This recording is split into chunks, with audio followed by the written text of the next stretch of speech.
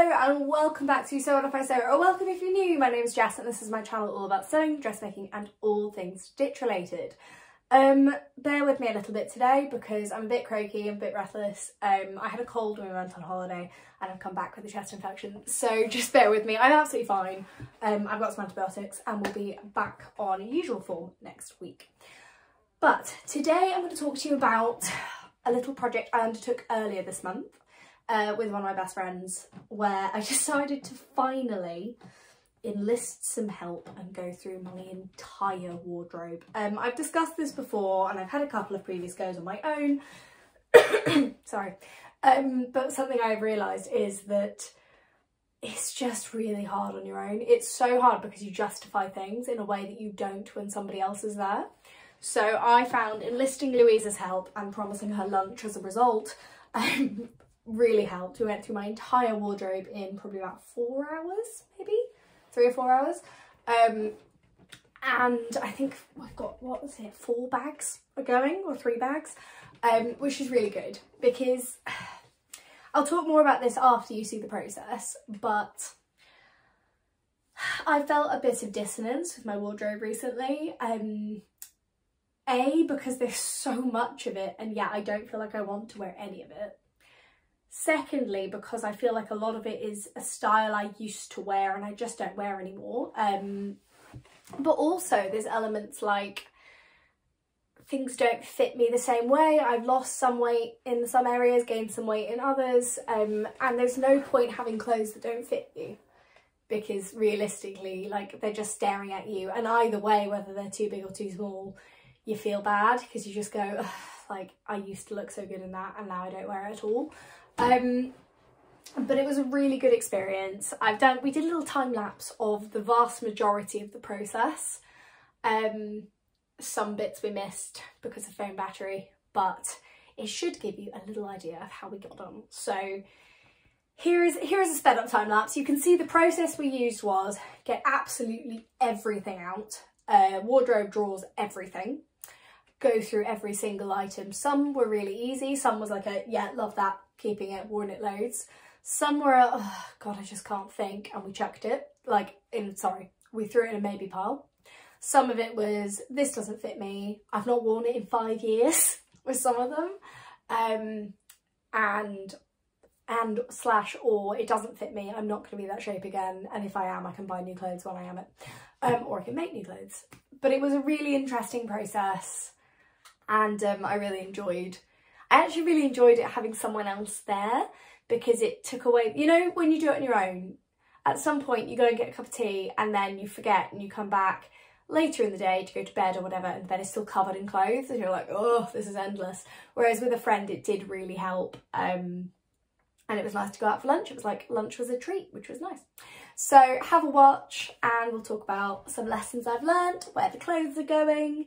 Uh, if you can see notes here, it's because I'm a little bit off today. I wanted to make sure I covered everything I want to talk about. So if you can see my laptop, just bear with me. Um, yeah, I'm, I'm fine in the sense of like, I can do stuff, like I'm going to go to town in a minute and post some letters and that kind of thing but I'm not sleeping very well um, and I'm coughing up a lot of phlegm. So enjoy that. but yeah, so I'm okay, but I just want my notes next to me. So have a watch and we shall reconvene shortly.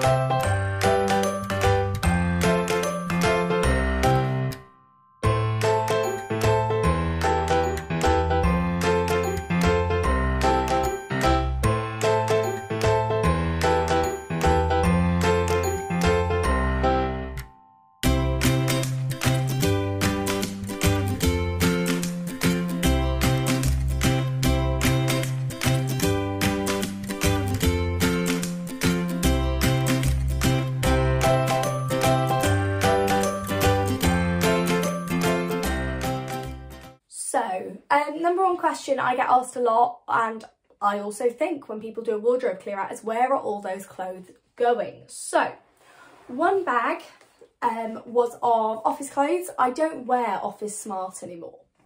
And if I have to be office smart, I do it in, in my own way. So I've kept one smart black dress for smart events, um, important meetings, and also, frankly, funerals and anything like that. I've kept one smart, appropriate black dress that's fitted, it's tailored, I love it. So that's staying. Everything else has been donated to, oh, who is it? Dress for Success, I think. Uh, they're a London charity that uh, provide clothing for homeless and disadvantaged women who need to go for interviews and to try and get jobs and that kind of thing. So I've donated it there um, so that some people get better use out of it than me. Um, as you guys know, I have a bit of a penchant for knitwear. I love knitwear. I managed to get, I think it was what, 20 something jumpers down to about nine uh, sorry, jumpers and cardigans down to about, yeah, eight or nine, uh, which I'm really happy with because I'll, I'll actually wear them all now. Um, but the practical cosy clothes like that, um, I want to donate to a refuge. Um, there is one local to me. I'm just going to drop them an email to ask them if it's useful because they say, you know, inquire if you have a specific thing you're interested in donating. Um, but because we're coming up to a really rough winter, I'd rather donate again my jumpers to people who are going to get use out of them because they're perfectly fine, there's no holes, they're not threadbare or anything, they're really cosy and I want to make sure they go to people for whom they're going to get the same use out of it um, as, as I would, I just have too many. Um, the younger clothes, the going out clothes, I'm getting rid of some dresses, they're going to my local charity shop because they've got a poster outside requesting those things um, I think it's for Christmas dues and prom and things like that where people may not be able to afford to buy a new dress. So those kind of clothes are going there. Um, I try to be as targeted as possible when I'm donating things. But the fact that my local charity shop literally has a poster being like, do you have these things? Please donate them. Um, so I'm, I'm going to take them down there. So hopefully people get some use out of that. The only things that were properly like chucked, thrown away in the bin were old underwear and old socks that you know, nothing could happen with. So they've gone. But it was a really, really good process. I've also got a new uh, bag full of things to be mended or an updated bag full of things, um, as well as a couple of work in progresses, which is next to my chair right now. Um, here it is. So next week I'm going to do a mend with me vlog and we're going to get through a good chunk of those because they're little things like the elastic needs fixing or the edges need overlocking. Um, one of them is a Chalk and Notch fringe dress I adore. It just needs the sleeves securing underneath and then it's done. But for some reason I'm really struggling with that. So I thought put them in a bag and then I can, A, once the bag is full, we have to get through the bag. It's a nice small bag. But also, um, it means in a moment where I'm just like, oh, I don't know what to sew and I'm having a bit of project indecision, I could grab the bag and find something in it that I fancy doing. So we'll see how that process goes, hopefully quite well. Um, so that's kind of where all the clothes are going to. I'm going to take one bag down with me this morning as well, depending on my breathlessness and what I can actually feasibly carry. Um, but yeah, so I have thought about where the clothes are going. This is not a mindless chuck everything in the bin. Um, I have found that I have too many things. I would rather they go to a home rather than ending up in landfill. It's a really hard thing as well because I've, I've got so much better at consuming less. But previously I consumed a lot and I don't wear any of it anymore. So it's, it's that finding that balance between rehoming things, throwing away the things that have to be thrown away, not needlessly throwing away stuff I do wear for the sake of the new wardrobe. Like it was, it's quite an ethical balance, but I think we've got there. And um, I have learnt some lessons though. So again, looking this way, your style changes it is natural. You shouldn't feel bad. You can wear something four years ago and look amazing in it and love it and it's a vibe. And you go to put it back on and either you don't look like you used to in it or you just don't like that style anymore. So for me, when I was at university, I used to wear a lot of shirts and skinny jeans. Um, I was really comfortable. I loved it. Big cardi over the top, really loved shirts. But somewhere in the last few years I've stopped wearing them. I think because A, I struggle with the bust on shirts so they end up being really baggy and sort of boyfriend style, um, which is fine, but not for your whole wardrobe, for me anyway at the moment. I prefer, so what I'm wearing right now actually, if I stand up, I like a tight long sleeve top. I still love my skinny jeans um, and a big cardi, but I prefer what's underneath to be a bit more hugging, partly because it's warmer, frankly. Um, but then there's other things. So like I don't wear skater skirts anymore. Nobody does. Um, but also I used to just find them, I don't know, they're just not, I don't like the way they look on my body. I would much rather wear really cool trousers or if I'm wearing a skirt, I'd rather it's either long or it's more of a pencil vibe or as you guys know, I love an A-line miniskirt. But skater skirts, they're much more my mum than me. So there is one I'm going to ask her if she wants because, you know, it's her five. I've kept one because my mum did give it to me and I love it. And I, I'm keeping it because, firstly, it's ludicrously short and it's quite fun. Um, but also there's an outfit I love that it goes with. So it's like my thigh high black boots, my skirt, a jumper quite like this. Um, or it's a jumper, this is a long sleeve top, but it's a jumper sort of this colour um, and it looks really cute. So that's the only one I kept. Otherwise, the skater skirts have gone. Uh, so I have a lot of the bodycon skirts of, of the old clubbing days because people don't wear them anymore. And frankly, I, I would just rather spend my night having fun rather than hoiking my skirt down because it's rolled up at every conceivable opportunity. Um, but then things like that, for example, I've discovered I love slinky clothes. Not discovered, I've always loved slinky clothes but I found that a slinky midi dress I prefer because I don't, yeah, spend my whole night trying to pull it down. But I also quite like structured clothes. I love an A-line mini. I think it makes my legs look great and it's really comfortable and it just stays where it's put. Like I like that. Um, I found I love a big cardigan with something tight or slinky, I think is the word really, um, underneath. I love I don't know, I still love my jeans. still love my skinny jeans. Those aren't going anywhere. But I have discovered I like a wide leg trouser and I am planning, I think, I think I've decided I'm to make a pair of wide leg Pietra trousers in burgundy denim, which I think will be so cool. Um, so yeah, I think those are coming up on my horizon as well. But I've just discovered that like, whilst I love my traditional silhouette, quite slinky, I also love a structure. I, I like pairing the two together. I like a tight jumper with huge trousers. Like it's really fun. Um, and it's a part of fashion I didn't know I was able to access as a shorter woman. So it's it's really fun, but it meant I had to say goodbye to some old favourites, but things I've not worn in the bracket of five to 10 years, which if you've not worn it in a decade, it definitely has to go. If you've not worn it in five years, it still in my opinion. Or you need to remember why you like wearing it and have a six months where you try and wear it because that also helps. Um, leading me on to my next thing. Honestly, if you haven't worn something in over three years, or I used three years because of the pandemic, but realistically over two years, if you've not worn it, even if you love it, you're not going to wear it. That's the thing.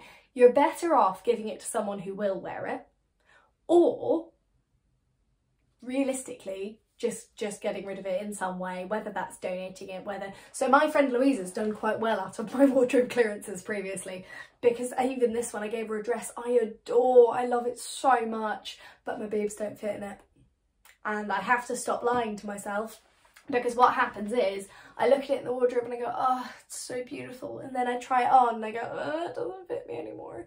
Um, and then cycle of shame. So I'd rather give it to her it looks gorgeous on her, she'll get loads of use out of it. Um, I did the same with a dress I wore to a wedding a few years ago where I was like, love this, can't breathe in it though, so it's got to go. Um, definitely prioritise breathing, breathing and moving in a garment over it, you know, being being basically poured into it. Um, it's a lovely vibe, but if you can't move, there's no point. Um, so Fewer clothes making makes getting dressed easier is a big lesson I've learned.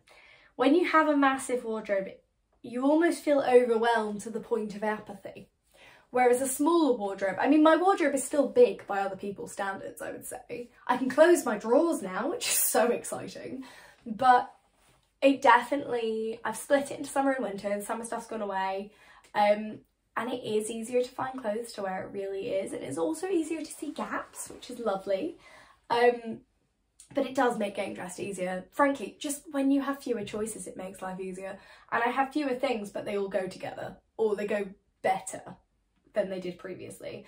Um, I'm also getting much better at not buying random navy blue things when I think they're gorgeous because the base colour of my wardrobe is black. Um, and I don't really, I love navy and then I get it home and I go, oh, nothing I own works with this. What is the point? There isn't one because also I don't like it that much wearing it day to day. It just seems fun because I don't own it. So I've got better at reminding myself why I don't own things, which is worth doing. If you struggle with that, write it down. I've got it, um, or I had it, I don't anymore because it's it's really in there now. Um, I had a post-it saying, you don't own navy because nothing goes with it. You don't wear mum jeans because they make you look four foot six.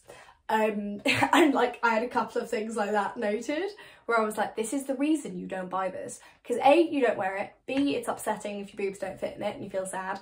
Um, you know, in the same reason, I don't shop at River Island. If I am going to shop, apart from the sort of ethical complications of fast fashion, which are numerous, River Island sizing is literally, like everybody makes up their sizing, but River Island every year seem to throw a dart at a dartboard and go, oh great, R16's now an 8, or whatever it is. And it's all, it's all nonsense.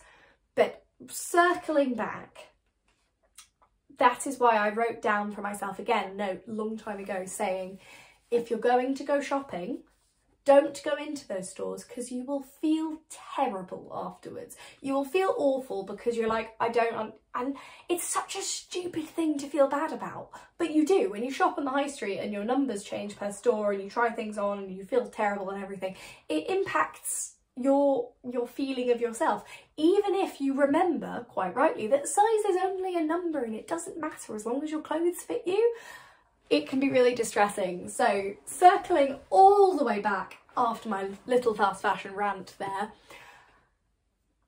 it's really important to just write down why you don't buy certain things and then it means you don't fill your wardrobe with random rubbish really. It's better to buy or make things that are stylish rather than fashionable. Um, so a great example of this, I have a pair of jeans that are, how long have we been together? Six years old. They are, they're old New Look jeans. The denim is not denim anymore. It's so thin, it's so shiny. Um, I need to get a new pair. But I've kept it because I quite like the way my legs look. However, they're high-waisted and they have a really weird, which was fashionable at the time, I should say. They have a really weird like four button closure here and I was wearing them the other day. Like when I was going through the wardrobe with Louisa, they landed in the keep for now, but probably upgrade. Um, because you know they're, they're not super fashionable anymore. I'd rather have a pair of stylish jeans I can have for like five years, um, or ten years I should say, because those have lasted six. So I looked in the mirror and was like, I look like Jessica Simpson 2005, as in as a, as a style. I, I realised I was like, I'm wearing pretty much the same outfit. Um, and that doesn't work for my style anymore. So I am going to upgrade those jeans um, and find ones I feel as good in though. That's the thing. I want to, I'm going to go shopping in those jeans so I can find, so I'm not mindlessly replacing. I want to feel find something I feel as good in, but the denim is better quality so will last longer and they have a normal, like a closure like this. Um, now I should say um, I'll still be getting high-waisted um, high jeans because I'm not insane. Um, but the jeans I'm wearing now are lovely, but they're slightly cropped. So in the winter, you get really cold ankles. Um, but these other ones are like the whole length of my leg. So that's what I want. I just want something that goes the whole length of me, whereas these are a bit more summery. Um, so yeah, just FYI, because if you're like, you're wearing jeans now and they're fine, um, I need something slightly longer for the winter. Um, so the other and final lesson I have learned is that if you are doing a wardrobe clear out, as I discussed at the beginning, get someone to help you, whether it's a friend. Me and my mum have talked about doing a wardrobe clear out for her with me on FaceTime because I won't be going out to Orkney.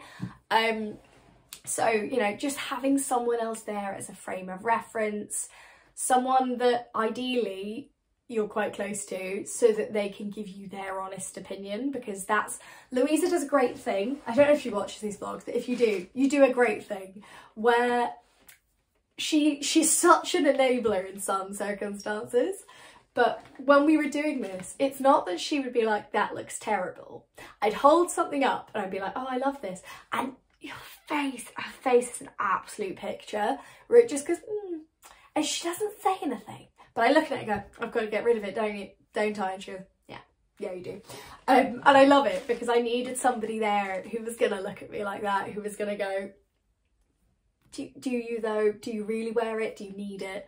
And that was really helpful. So enlist somebody for whom you are close, you know, get a packet of biscuits, make some tea, um, and really make a day of it and just, just lean in um, be ruthless because A, it means you have more clothes you love, which means you feel better about yourself because you're like, yay, I look beautiful and everything I own.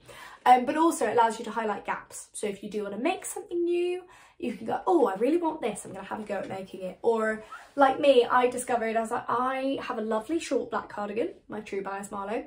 I need a big slouchy black one. So I bought this one because I couldn't find a pattern that basically I broke so many needles making my Marlowe. I love it. I'm not doing it again for the foreseeable until I've sort of plucked up the courage.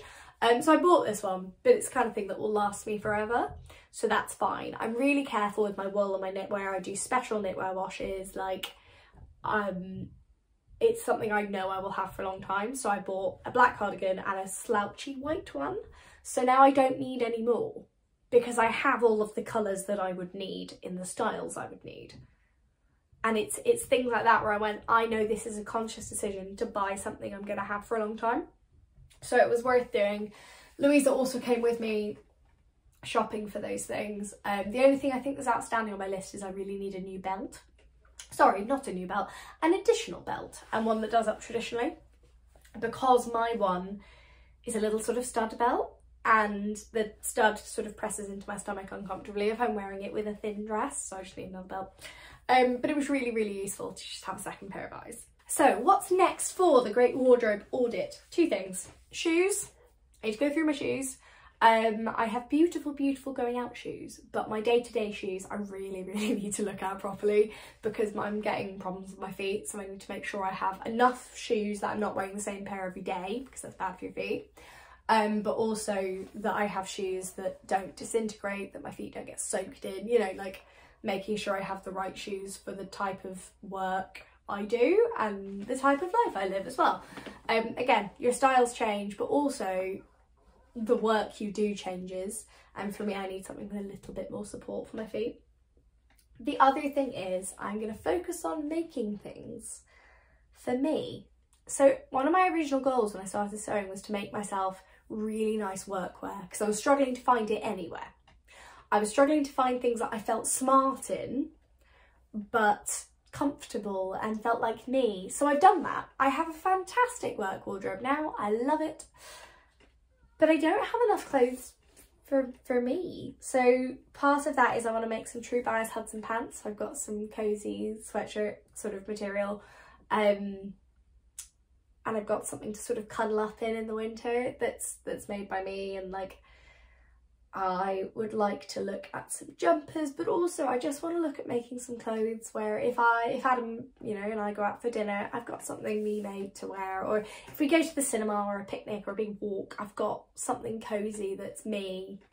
Um, and I don't know, that just, I don't want to think all of my sewing is only work appropriate. I want to have things where if we get invited to go to a museum or out for lunch or to the film or whatever, that I've got something to wear um, because that's still a struggle area. So I'm going to have a sit and plan properly and see what I want to make.